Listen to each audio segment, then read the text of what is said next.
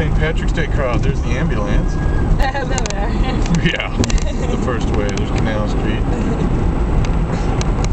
I just love going over the grades.